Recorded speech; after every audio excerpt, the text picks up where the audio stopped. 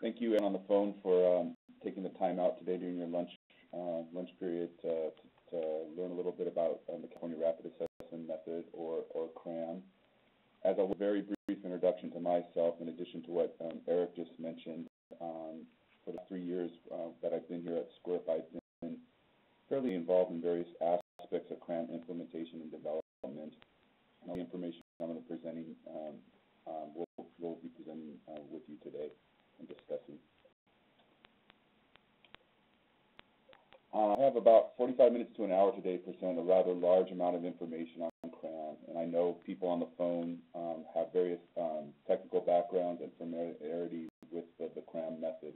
So my goal is, is essentially to make this presentation be uh, why, the what, and the how of CRAM.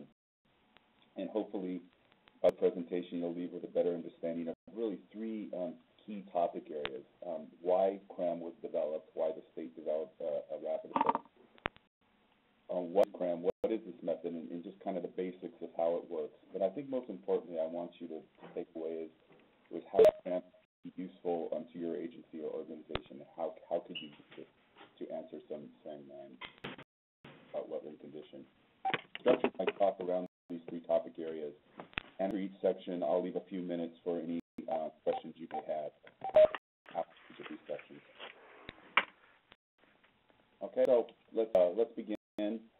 I'll agree that the ecological value of a wetland is well recognized. Um, must also know that California has lost a large portion of its west wetland acreage, so the resource requires um, some form of management um, for, for, the resource. In California, the responsibility for regulating and managing wetlands is divided among a number of state, federal, and local agencies, each management functions.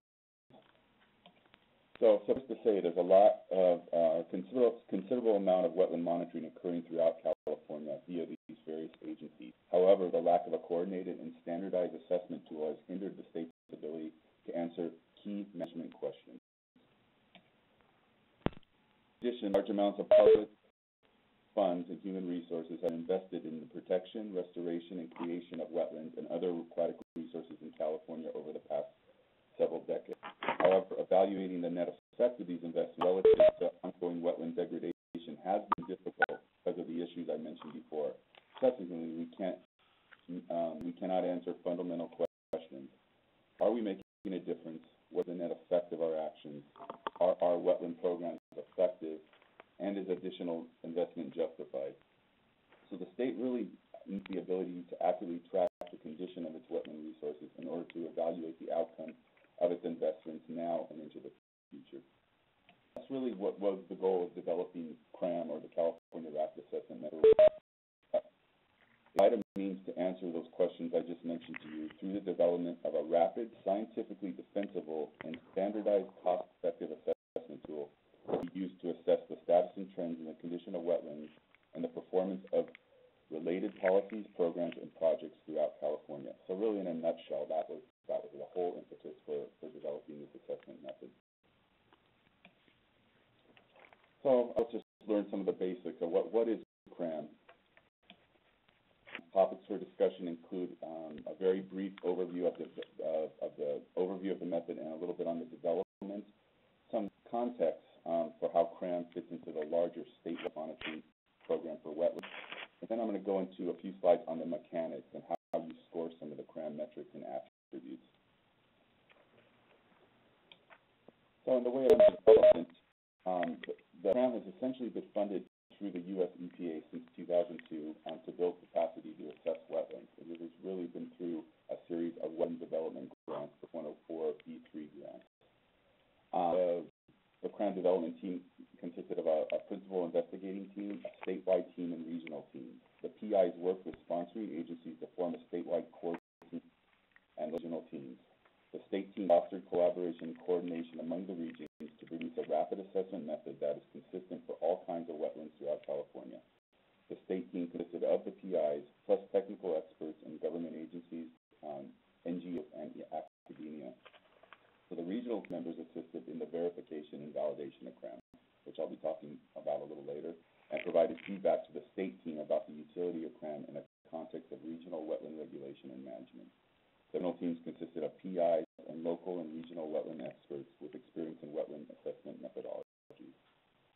members of each of these state and regional teams are listed in the acknowledgement section in the front end of the CRAM user's manual, which will also be discussed a little later in the, uh, the presentation. But really, on the CRAM development,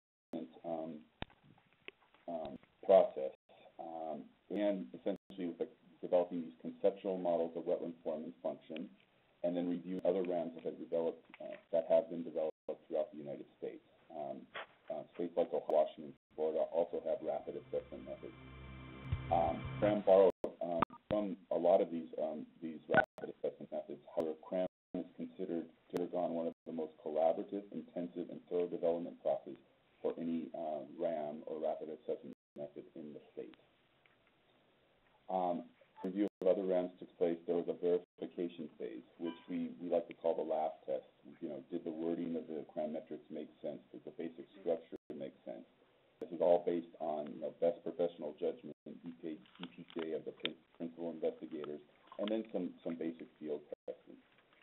that verification phase.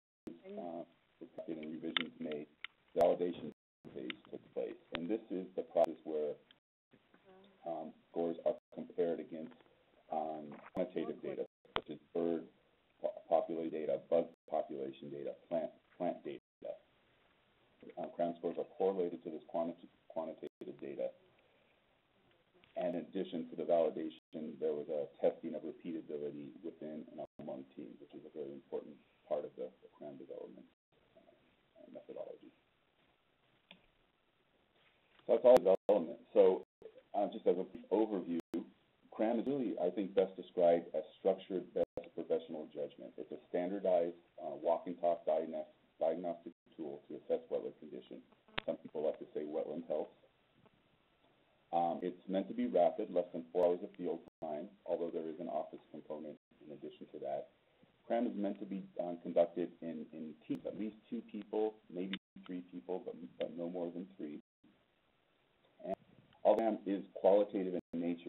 requires some proficiency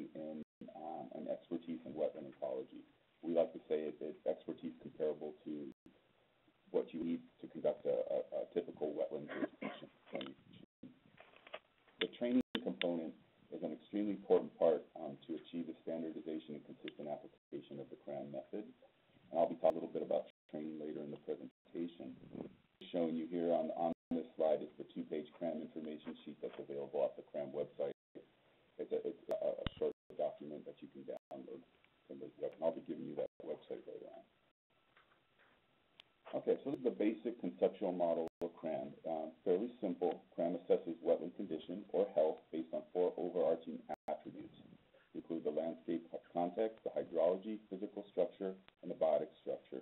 And you're going to be seeing this slide um, over the course of this presentation several times. Um, uh, CRAM meant for all to apply to all wetlands in California. The CRAM wetland typology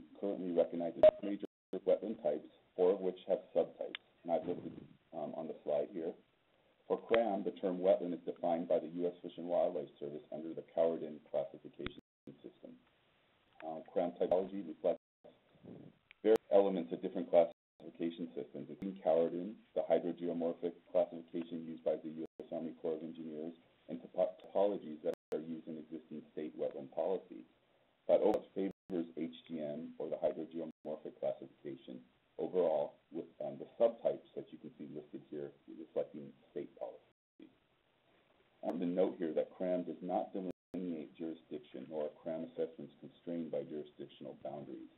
So consequently, CRAM assessment areas may include areas considered wetlands, waters of the U.S., waters of the state, uplands, depending on the specific site, type of system being assessed, location in California, and specific agency jurisdictional definition. So I think that's an important point to make um, when conducting CRAM. So going back to the conceptual model, which in, within each of those four attributes are a number of metrics more specific as aspects of wetland conditions. And these metrics are, are what you are actually assessing in the fetal. This example is two metrics that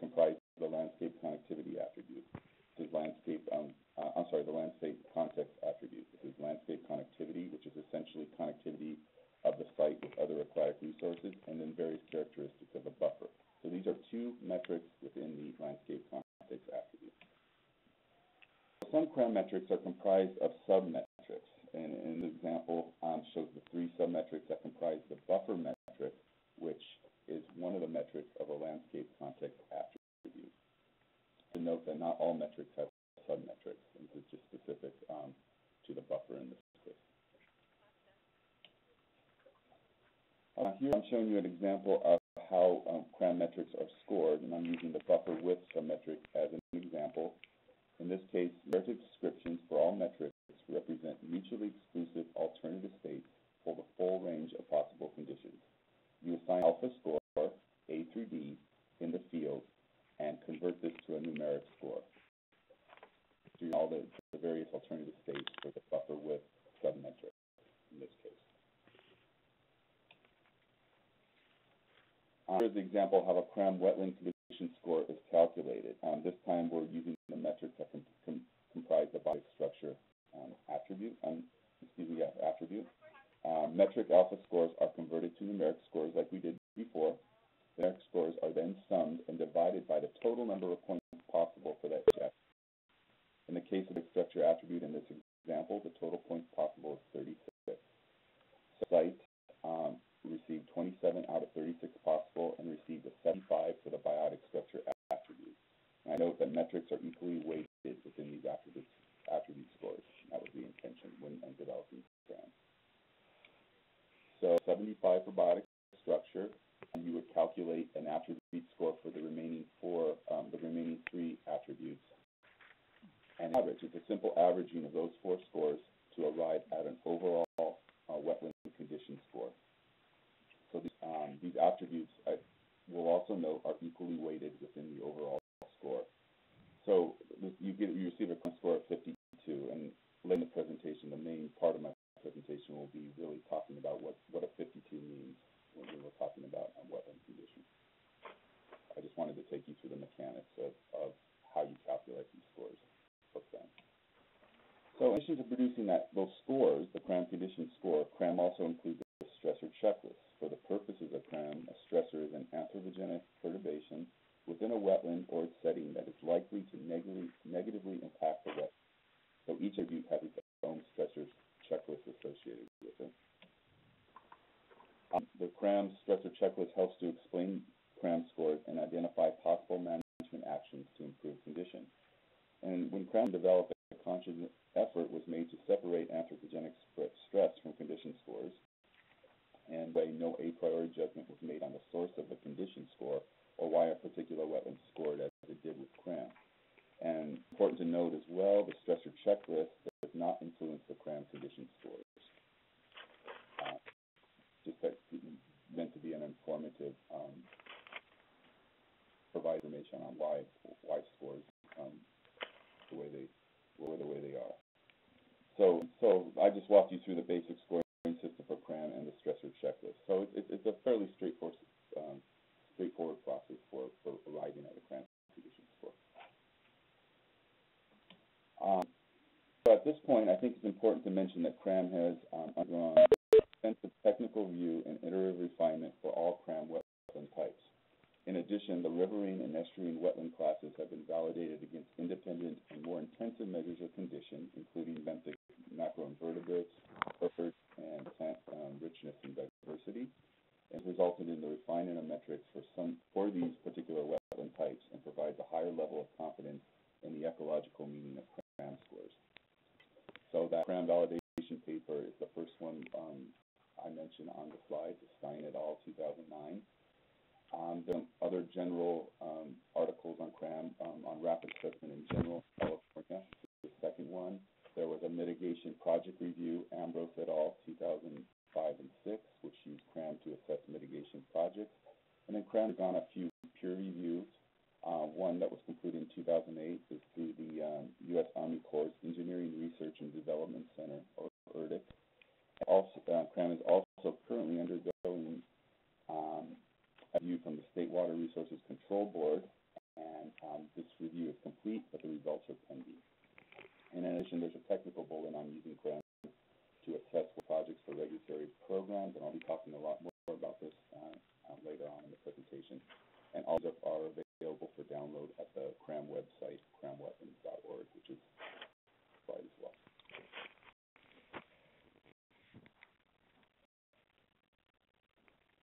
Okay, so, um, before I talk about the state context for CRAM, I, I was, um, um, to take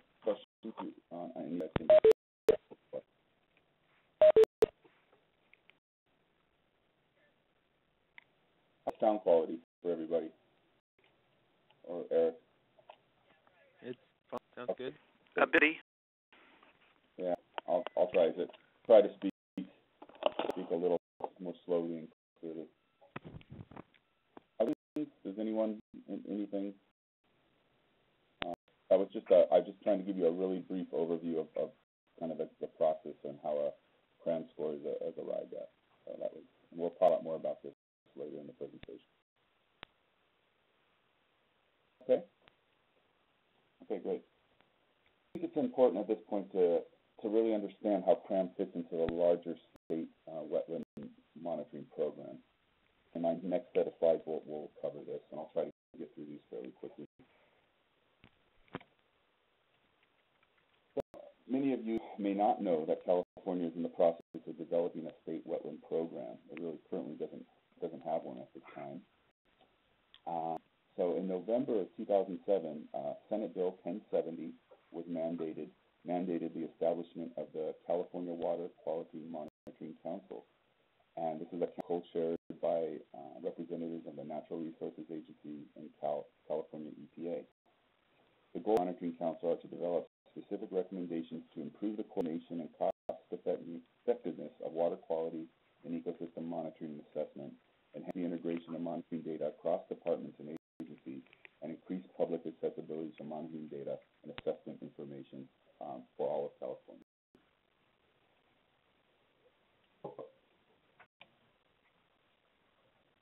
Um, Based subcommittees coordinate the of Council's various member agency programs, and these programs are focused around question-driven monitoring and information dissemination. I'm showing you here is a screen capture of the Monitoring Council's My Water Quality website that lists question of interest. Um, the yellow is provided in yellow at the top for this um, for this website, and I'm going to talk uh, more about this later. Talk use the handset and listen on the speaker, I like that. In 2008, the California Wetland Monitoring Work Group was endorsed as a subcommittee of the California Water Monitoring Council. That was the council I just was discussing. Um, this, the, the Wetland Work Group is composed of state and federal co-chairs, plus an uh, Senate Bill 1070 liaison. And there's um, federal, state, and academic participating uh, agencies and organizations.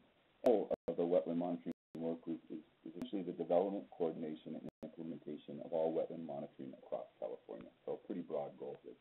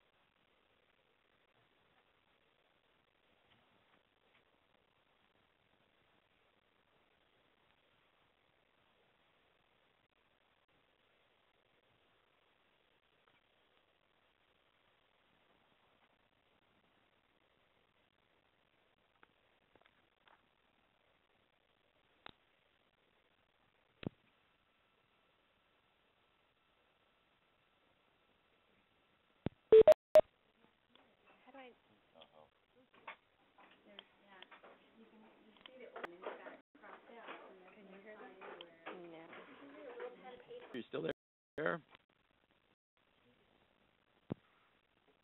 Lost sound. Yep, me too. Okay. Whoops, something happened on my web screen. Huh.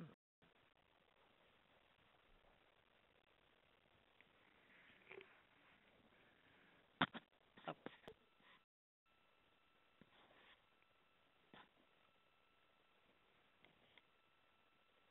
There?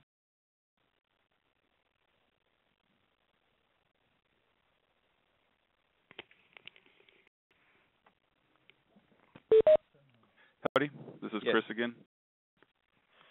We had a little technical difficulty there. So, I apologize for that.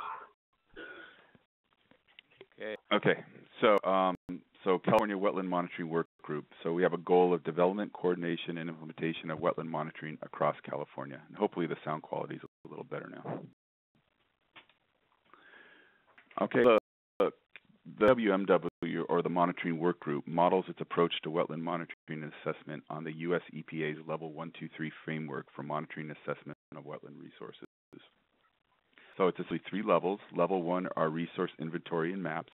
Level two, rapid assessment of overall wetland condition. And level three is intensive assessment of specific functionality. And I think this is what um, we're most uh, uh, familiar with. This, these are the bird surveys, the intensive plant surveys that, are, that occur at, at various sites. So each level assessment can be used to answer sp- specific questions. For level one, we're interested in you know where the wetlands are um, geographically in the region. Level two is looking at condition assessment. Um, what is regional condition, the ambient condition of wetlands, or the uh, condition of a project compared to that regional condition.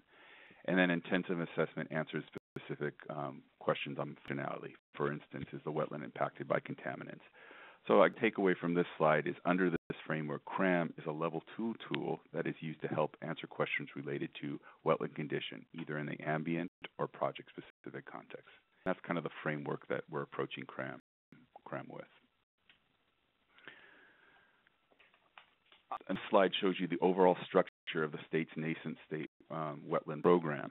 Um, ongoing coordination of the wetland of wetland monitoring activities occurs through the various subcommittees of the California Wetland Monitoring Work Group, operating under the Monitoring Monitoring Council's overall guidance and approval. So the two work, work group that you can see in the middle focuses on all aspects of CRAM development and implementation. So you have a one, a level two, and a level three work group, all reporting to the California Wetland Monitoring Work Group. Regional teams refer to the various regions of California, you know, such as South Coast, the Sierra Nevada region, and each subcommittee, level one, two, and three, has a uh, of the California Wetland Monitoring work, Group contains a regional representative on each of those work, work groups. The structure of how this wetland program is, is is developing for California. I think it's important to see where CRAM fits into this, that it is intended as a statewide tool and not just a regional tool. Okay, so one of the priority work areas of the California Wetland Monitoring Work Group is the development of a state wetland and riparian monitoring program. We call this the RAMP. There's a lot of information on this slide, and I'm not going to say much more on this, but I really wanted just to point out that CRAM is one of the products of the California Wetland Monitoring Work Group. And the document contains quite a bit of information about the State Wetland Monitoring Program. This document is available for download on the, the Monitoring Work Group website, and I'll provide the URL um, at the end of the presentation. You can download this. Okay, so getting in more to the nuts and bolts of how does CRAM work. Um, hopefully that's giving you some context of, of where CRAM fits in the state pro, state picture. Um, before I start going into the mechanics, I just want to know if there's any questions so far on any of the information I presented. And it sounds a lot better, so um, that's good. So any questions, um, either via chat or, or you can ask them via phone, either way. Okay. Great. So how does CRAM work? So you've introduced to the CRAM, you know, conceptual approach to assessing wetland condition. You've seen this already. We have four attributes of condition and a stressor checklist. There are steps to conducting a CRAM assessment. I'm not going to go into any of these in any great detail today, but I wanted to make you aware that there is a process for conducting a CRAM assessment, um, uh, you know, complete CRAM assessment. And see, there's eight steps from starting with assembling background information to the point of where you submit uh, assessment results to the, the CRAM database. Um, training program and training materials available to practitioners of the CRAM method, and, and we offer this if people really want to, to learn the, the mechanics of how you apply CRAM in the field. There's a CRAM user's manual um, in 5.2. It's complete for all wet classes. We have a number of field books complete for river, estuarine, and vernal pools, and the regional three-day practitioner trainings. And we, we approach this for one wetland type and people take the three-day practitioner trainings, and then you're able to take a two-day add-on module for additional wetland type. So you might take three-day riverine, and then you're interested in learning more about estuarine, you would take that two add-on module. Um, at this time, there's no certification um, in the CRAM method, but a list of trained CRAM practitioners is included on the CRAM website um, for public display. And in fact, we have a two-day estuarine training coming up here at SCCWRP on October 5th. That's intended um, for people who have already had a three-day training. Okay. So I think most important to understand that the fundamental unit evaluation for a CRAM assessment is termed the assessment area, or AA is what I like we like to call it. The is the portion of the wetland that is assessed using CRAM. And in this example I'm showing you is for a, a riverine site. And to the CRAM assessment, each of the metrics is evaluated for a particular A in the field to yield a numeric score, which we've already learned about. And this is based on either narrative or schematic descriptions of condition or on thresholds across continuous values. Okay, um, so there are several considerations for delineating the CRAM assessment area that are important. Uh, first is the purpose of the assessment. Is, are, are, you using it to assess a project or is this part of an ambient monitoring program? If it's a project, um, it might be a large. You might need multiple AAs to cover the entire site. If it's just an ambient um, program and this is a point located through a probabilistic draw, it might just require one uh, assessment. Um, and there's also the issue of hydrogeomorphic integrity. Only one wetland class can be assessed at a time. So, for instance, if a seep wetland drains into an adjacent depressional wetland, these two systems must be addressed separately. Um, hydro breaks um, for river wetlands, such as confluences, major river tributaries, or culverts, also can separate CRAM assessment areas. The idea of having these these hydrogeomorphic breaks is to maximize detection of management effects and to ensure that CRAM has the likelihood of being sensitive to any management changes that occur. And there's also size limits for AAs. Um, might have higher or more variable scores, so we have to standardize what the size limits for the A's that people are assessing.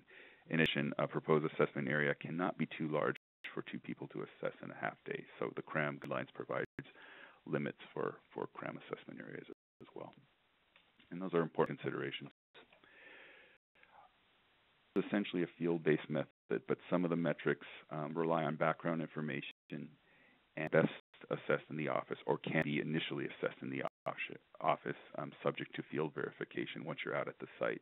And these metrics include um, submetrics and submetrics of the buffer and landscape context attribute, and then one of the um, hydrology attribute metrics is the water source. So what are the inputs of fresh water coming into the site? Some you can actually do in the field prior to going out to the site.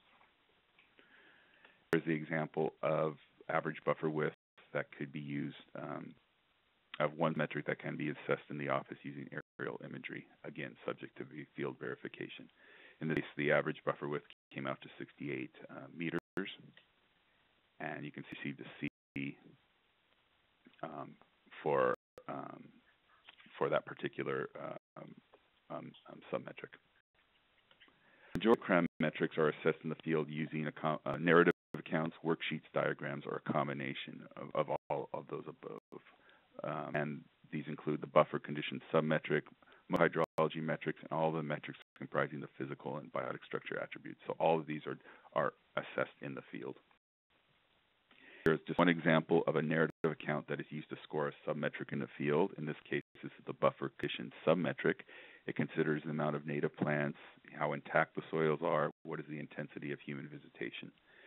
So the combination of these three submetrics with the other buffer submetrics is used to score the buffer metric. So this is just an example of a narrative account from the, for CRAM. An example of a worksheet that is used to score the structural patch um, patch richness, and this is one of the metrics comprising the physical structure attribute. Structural patch richness is uh, defined as the number of different obvious patch types um, or features that may provide habitat for aquatic or riparian species. For each wetland class, there is a different list relevant to the type of structural patch types that would be expected in the wetland class. And you check off boxes of structural patches that are present within the AA. Let me turn on this little pointer here. So the various um, of patches that you could um, could find. This is for riverine uh, wetlands. You could see where you have a one, you would expect that patch to occur. Where you have a zero, you would expect that you you would ignore it. You don't expect that patch to be um, at that site. So this is a site, an example for riverine wetlands. Other wetland classes may have different a different number and different types of patches for that particular wetland class. Okay. Here. Example of a diagram that's used to assess um, horizontal interspersion zonation. This is one of the metrics comprising the biotic structure attribute. Um, horizontal biotic structure refers to the variety and interspersion of plant zones. Um, interspersion is essentially a measure of the amount of edge between those zones. And this is an example of the schematic used to assess riverine wetlands. Um, diagrams are used for the other wetland classes. And here's a site that, that would probably score B in CRAM. So just run on a schematic diagram. Okay, lastly is an example of the CRAM scoring sheet that's actually used in the field. And this may be a better way to illustrate the relationship of the, various submetrics, metrics, attributes um, um, for CRAM. Uh, metrics, in this case, these are the three plant community submetrics, are components of the plant community metric, and three biotics, uh, three metrics these metrics here comprise the biotic structure attribute. And then formula, formulas are provided um, if you need to calculate the scores in the field. So then the average of the four attributes here provide the overall CRAM index score. We've already talked about this, but this might be a better way for some people to visualize um, the, the CRAM scoring. Okay. So in addition to calculating um, um, score metrics, attributes, and the overall condition. CRAM also includes a stressor checklist. We've seen this already. And I just wanted to provide you an example. This is the um, stressor checklist for the hydrology attribute, and each of the attributes have a corresponding stressor checklist. Okay. So that's as far as I'm going to go into the, the mechanics of CRAM. As I mentioned, we have a, a, a full training program that's really devoted to the learning the ins and outs of the method. And so that's what those three-day practitioner trainings are intended for. So I, I really get into the, the meat of this, and this is CRAM applications and score interpretation, I, the main part of the presentation. Are there any questions so far on anything I've discussed? I haven't got any chat or, uh, or any questions so far. So. Okay. CRAM application and implementation. Um, so I'm going to be talking about how you interpret CRAM scores, some of the applications that uh, are currently being used for CRAM. This is really uh, specific to project assessment, but we'll also be talking a little bit about ambient assessments. I think it's important to talk about CRAM data management and how this CRAM data is going to be archived and you know and eventually used, hopefully. So you've seen how CRAM's uh, submetrics, metrics, and attribute scores aggregate into an overall um, uh, or, or, or, index score. You've seen this already. We just this, and you learned a little bit about how CRAM metrics are scored in the office and in the field to arrive um, at that overall uh, index score as well. So really, I think the big question, probably on most people's minds, is uh, what does a CRAM score mean, and how can I interpret CRAM results? So CRAM scores represent, we've already overall condition. Some people like to term this functional capacity or aquatic health. Uh, CRAM score is numerical. We've already seen it's an actual score. It's repeatable. You can go out to the same site and arrive at a, a, another score.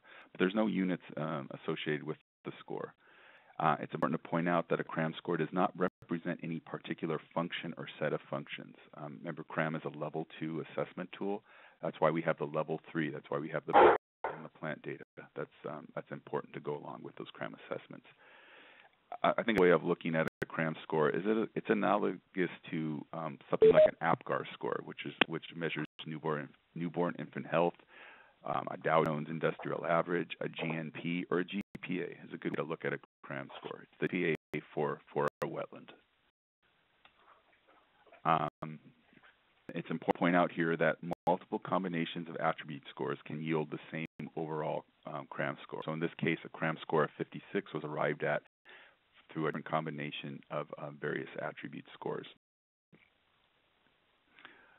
Similarly, um, each attribute score or can be explained by its particular set of contributing metric scores.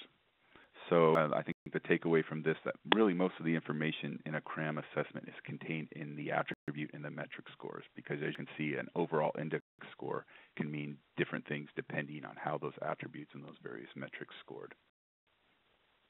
And we'll be talking a little more about how you report CRAM scores as well. Okay. CRAM is intended to be a diagnostic tool to provide an assessment of overall wetland condition at a particular point in time. So each attribute score represents a suite of expected functions, but it's not measuring those functions. As I mentioned, that's why you would use a level three uh, uh, uh, to do that. So I'll just give some examples. Landscape and buffer attribute represents ecological connectivity at the landscape scale, ability of the buffer to mediate external stresses, etc. The hydrology attribute represents um, various functions as well. So it's in to point out that condition is the status at a particular specific point in time. That's what CRAM is measuring, whereas function is a process occurring over time. And again, that's why you would be, um, you know, including that level three data to really get at those questions um, related to function. In many cases, CRAM will, will need to be used in conjunction with not only level three, but the one methods to support assessment of wetland condition for decision-making purposes. Level methods also allow you to get at the functional aspects of the wetland being assessed, and I, I think that's a point that um, we really need to make clear when we're when we're applying CRAM. Okay. Evaluation of CRAM scores.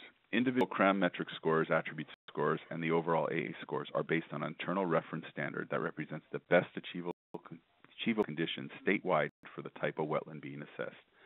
Therefore, any two scores for the same type of wetland can be compared to each other because they are based on the same same statewide standard. For example, an assessment area having a, a score 50 can be interpreted as having lower ecological condition than an uh, assessment area of the same wetland type with a score of 80. A similar interpretation can be made for attribute scores, and these range from 25 to 100, 25 being the lowest.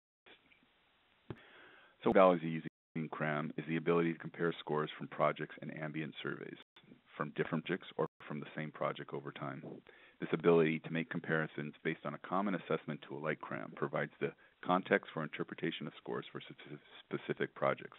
However, the particular applications of CRAM for specific projects will ultimately be at the discretion of each agency as part of its permitting or grant programs.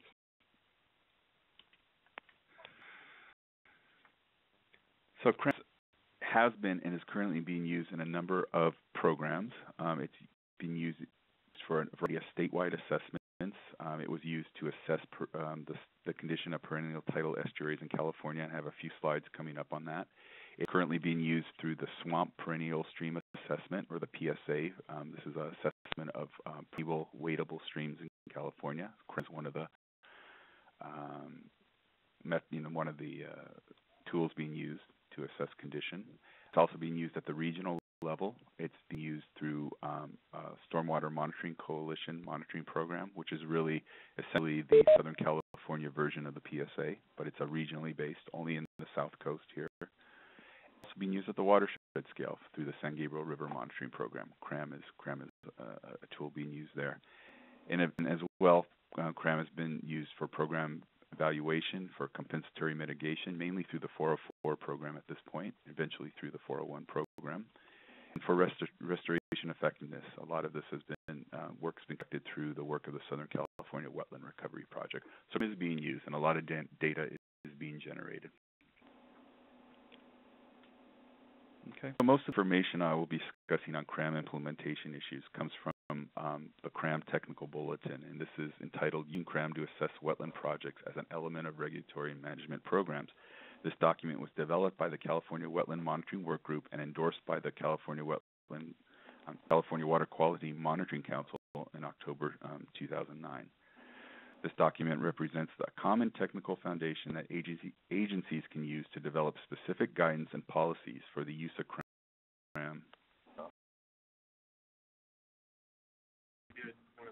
um, of this document is available for download at the California Wetland Monitoring Workgroup website and at the official CRAM website, and I've listed those there. Yeah. I'm just looking at the questions here. Sorry, guys. Um, I mean, I'm like required. So our question is, how can CRAM possibly assess benthic macroinvertebrate vertebrate actual collection of data?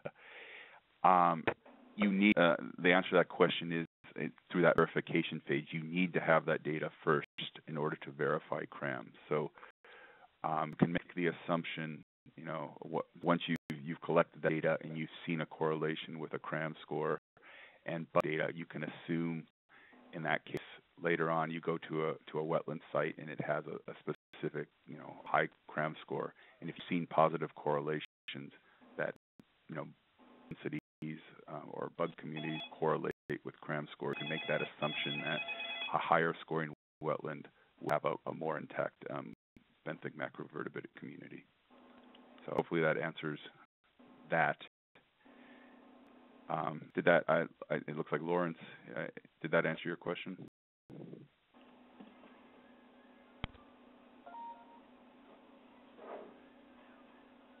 Okay. Okay. So this technical bulletin is really important. I encourage you all to uh, to to know that and really look through that.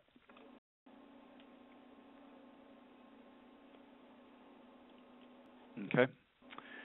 So the purpose of the CRAM technical bulletin is to address technical issues related to the use of CRAM for project assessment in particular, and I've listed many of the components that this document discusses. So the intent is to support consistent and appropriate application of CRAM for regulatory, mitigation, and restoration projects across a variety of state and federal programs.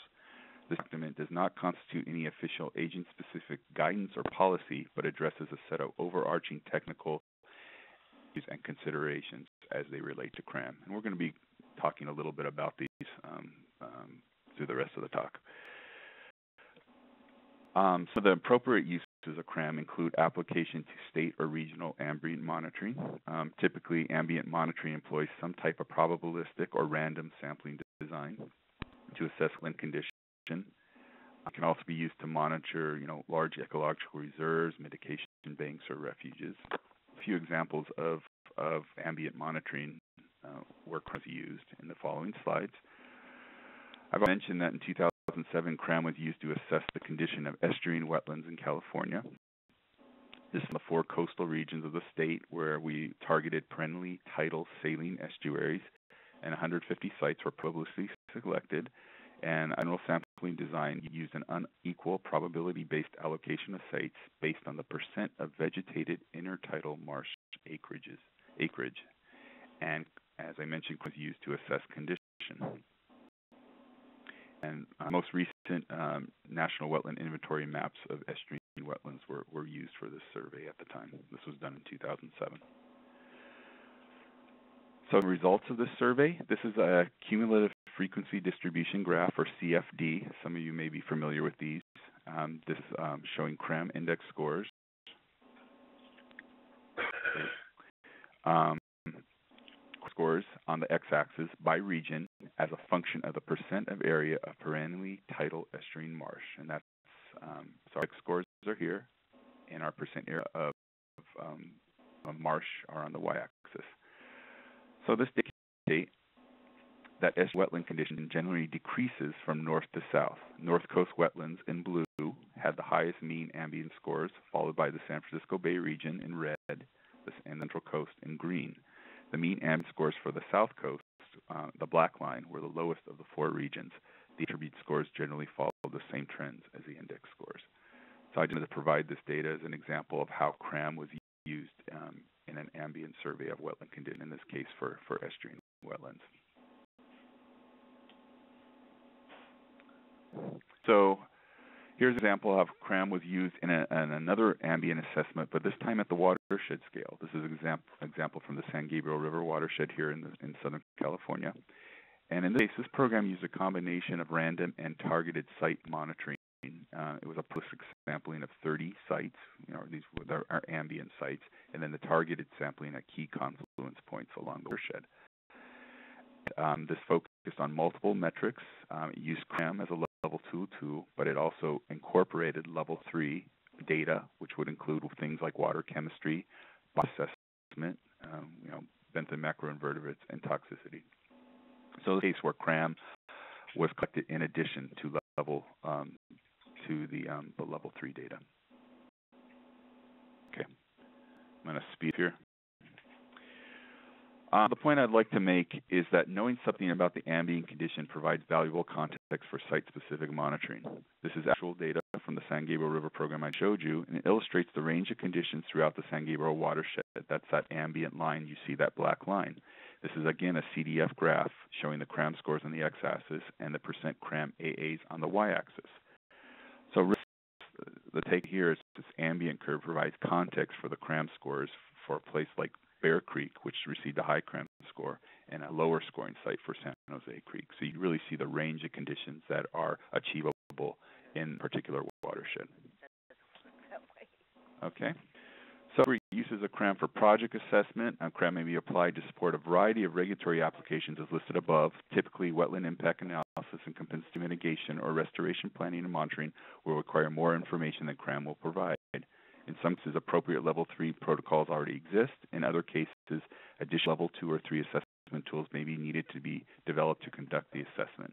And I'm going to, um, you know, hit point again that CRAM is intended to be used in conjunction with level one and level three tools and not replace them. CRAM should not be used as sole basis for making regulatory or project decisions. Rather, it should be used in conjunction with other information and data to inform regulatory and project decisions. This list provides some examples of inappropriate uses of CRAM. However, it's not exhaustive. Um, the appropriate agency should be consulted prior to any application of CRAM, but these are just some of the things we consider inappropriate uses of, of the method. And this is CRAM Technical Bulletin. Following two slides, I just wanted to provide some general guidance for assessment of projects. Here's one scenario for when a project wetland is smaller than the CRAM assessment area. The AA boundary includes areas beyond the project area. So this is a very small project. So wetland project area is smaller than the suggested minimum size.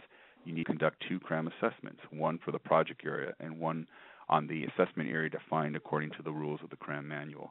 Both sets of scores should be reported for consideration in agency decision making.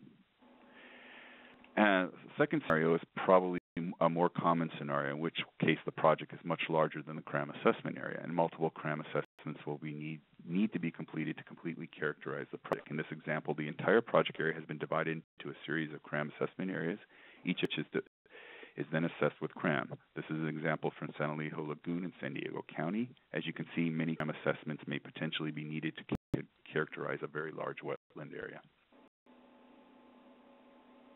According to the guidelines in CRAM. Okay. So if resources preclude the assessment of all potential CRAM assessment areas, and most likely they will in, in, in reality, a statistically representative subset of AAs may be assessed using the procedures outlined in the CRAM User's Manual and the Technical Bulletin. So we do provide guidance of how you could assess a large wetland area. This guidance is mainly intended for assessment of large contiguous wetland areas, typically something like an estuary or a depressional wetland, but with some modification you can apply it to riverine wetlands as well. Um, there are some important caveats when using CRAM to assess projects. The first is that under no circumstances should CRAM metrics or attributes be modified. Doing so validate the CRAM assessment. Um, and modification of the method will reduce or eliminate the scientific reliability and defensibility associated with the development and the review process of CRAM. So we, we don't um, recommend modifying any of the metrics at this point. And multiplying CRAM scores by linear area is another caveat. By multiplying CRAM scores by area or linear distance, it may not represent the true relationship between conditions at different scales and at different areal or linear extent. Multiplying CRAM scores by any dimension might distort the scaling of metrics, weight values of other metrics in unintended ways, or lead to erroneous results.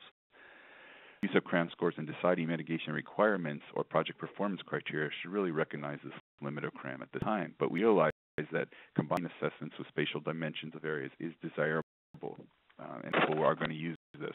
So currently compiling data from early CRAM applications that will be used to determine if multiplying CRAM scores is valid. And future versions of the technical guidelines will revisit this issue over time. And look at changes in wetland area. These are better assessed at the level one, you know, using maps if you really want to see if a change in wetland area has occurred. Okay, and um, quickly go through summarizing multiple CRAM scores average metric scores, um, we, we suggest that you just use average of metric scores to calculate CRAM attribute and overall scores. Averaging scores is probably the best way to go at this point. And then the ability to CRAM to compare scores to the regional ambient assessment data, which is available on the CRAM website, is another way to, to uh, compare project scores to the to the statewide ambient assessment of that particular wetland type close to here. These just quickly go through these applications where CRAM was used. In this case, with a large development project to look at riverine wetlands. As you could see, numerous CRAM assessment areas um, needed to be delineated using the guidelines in this case. And it was just uh, the mitigation analysis table that came out of this project and provided is just an example of an application of CRAM. Um, they list post-project CRAM condition scores as well as pre-project scores, and they list the change CRAM scores between pre and post project. It's just, a, and then below there is a graphic to illustrate one way you can visualize this type of data. Just um, providing an example, Alpha Creek Restoration Monitoring, a similar scenario where they report the current CRAM score and minimum CRAM score attainable. Just another example. And then this graphic is just provided as a way to um, look at CRAM data uh, in the perspective of reference sites. CRAM score mitigation sites are compared to CRAM scores from reference sites using what they call a spiderweb diagram. Uh, actual data from a from a report. And, uh, excuse me, monitoring uh, CRAM scores over time. I think this is an important slide. Project evaluation using CRAM can provide a means to track the relative improvement in wetland condition of a specific portion of wetland acreage. This is a nice example how CRAM can be used to monitor restoration activities over time. Restoration project scores are overlaid on the watershed cumulative distribution frequency graph of, of, of CRAM scores, and that's, that's green right here. Movement CRAM score along the population distribution defines here at time one a low initial score, and then we have a drop in score due to the landform change from the restoration, perhaps, and then a quick response on time period three of a vegetation recruitment, and and at three and four. And five here we have additional weed management and planting might drop the condition score at this point in time at time five. Uh, I'm sorry, invasion, um, excuse me, invasion of non-native weeds may drop the condition score at time five, and then additional weed management may raise the condition score due to weed management and planting at time six and seven. And final condition is achieved at point eight. So these are um, eight different points in time. So all conditions change from the 30th percentile to 70th percentile wetlands within within this particular watershed. So it's a good how CRAM could be used to monitor restoration over time. Um, the CRAM technical guidelines also contain important information on CRAM QA and QC, quality assurance. There's things like minimum reporting requirements. Um, the audit process is a, is a, really important part of QA. Audit will consist of trained CRAM instructors and development team members, and the, the plan is to have these audit teams review to 15% of all submitted CRAM assessments annually for each region. And there's also guidance on precision targets for CRAM assessments, how to um, ensure accuracy of assessments, dealing with things like seasonal variability of CRAM scores, and multiple versions of the CRAM assessment that people might be using. This is all in the technical um, guidelines. Um, look, I'm really running out of time, and um, CRAM data management, I just have a few um, slide structures of how CRAM data uh, is managed, and I'll quickly go through these. Uh, CRAM data currently resides in two locations. Um, the first one is the CRAM wetland, um, cramwetlands.org site. Um, that is, uh, is the official CRAM website. This website is the source of all CRAM-related information. This is a screenshot from the website. You register.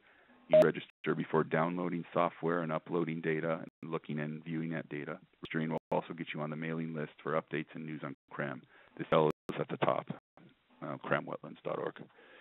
And then you've already seen the Monitoring Council's My Water Quality website, and this site provides a global point of entry for a series of theme-based web pages for all state water quality um, and assessment products throughout the state. And the aquatic ecosystem health is how you access something called the California Wetland Portal, also contained here. And here's uh, the aquatic ecosystems health. Um, at this point, the wetlands tab is the only tab that's uh, active. This takes you to the California Wetlands Portal, and I provided you the uh, URL to that um, to that site, the main page of the portal that you're looking at. The wetland portal provides general information on the extent and condition of wetlands in the state, answers general questions about uh, wetlands in California. Um, a couple more minutes, and these are the type of questions on which information is provided. And again, I encourage you to go to that website to, to, to look this over. In addition, the portal has a tracking function for wetland projects in the state. This is the project tracking page for the South Coast. And by clicking the list of wetland projects takes you to the South Coast project list where you can access project maps, tabular data, and project files. If you click on the wetland map for Arroyo Burro estuaries, um, you are taken to an interactive display of the project location. You can toggle between the various spatial layers. And the associated CRAM data you can see here is it can be accessed from this point as well. So this is the uh, California Wetlands Portal and at some of the tabular data that's included for different various projects and files and links. You are able to access files associated with any project, including CRAM reports if there are any, and these are available for download in PDF format. Format, excuse me. So there's a lot of next steps for the poll that you read those very quickly. It's really about building functionality for the current database, merging that eCRAM and project tracking into one base, really improving the online functionality of mapping, um, improving the entry eventually through a 401 online application is the next big step, and adding historical and level three data. So a bit to, uh, on the, the portal. Last slide. Um, next steps for CRAM. Next steps is um, we're developing a reference network for for CRAM and and for the state, and this is um, going to be um, initially populated with sites um, next year. There's a continued continue work on module development and refinement for depressional wetland, um, a validation study, uh, module for arid ephemeral streams we're working on, and then there's a wet mod- meadow, meadow module um, being developed through teams in the Sierra Nevada region. Importantly, I think uh, to you as we're starting um, these two-day agency-specific trainings planned for 2011, and these will be run through the State Water Board Training Academy, and these are intended for all agency staff, not just State Water Board, free of charge, uh, and it's really to a lot of the information on CRAM application and score interpretation. That, I'd like to thank you. I provided my contact information, um, the websites, uh, the URLs for all, all those websites that I have mentioned throughout the talk, and I just want to uh, acknowledge SCCWRP as well as all of our regional partners. And with that, thank you, and I'm happy to take any questions if we have time.